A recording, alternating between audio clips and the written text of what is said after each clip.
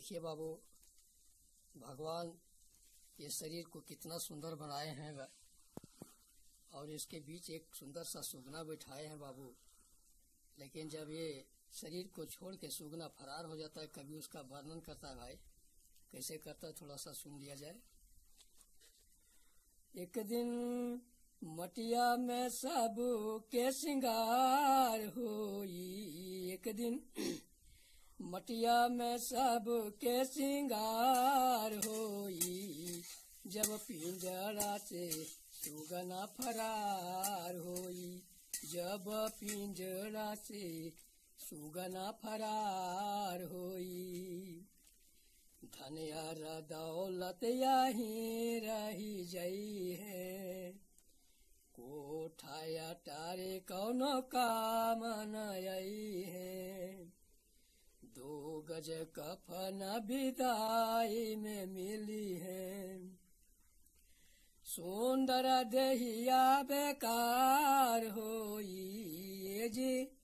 सुंदर देहिया बेकार होई, जब पिंजरा से सुगना फरार होई। जब पिंजरा से सुगना फरार होई। बाल बच्चा सब छाती पीटी हुई है।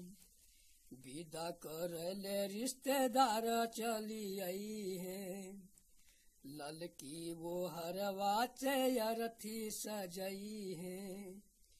फूल के माला ऊपर से चढ़ई है। अर्थी उठा के जब तैयार होई। जी अर्थी उठा के जब तैयार होई, जब पिंजरा से सुगना फरार होई, जब पिंजरा से सुगना फरार होई। चार जना मेले खाट उठई है, ले मर घट पर जब पहुँचई है। पाँच जना पचकरमा करी है सुंदर मुखवा में अगिया धरई है देहिया जल के राख होई जी।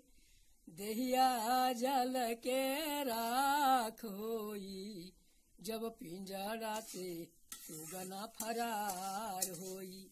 जब पिंजरा से सुगना फरार होई। मैं कोई कलाकार नहीं हूँ। श्रोतागण कम से कम अगर हमसे कोई तरह का गलती सलती हुआ होगा तो भैया आप लोग माफ़ कर देंगे। जय श्री राम। बहुत सुंदर।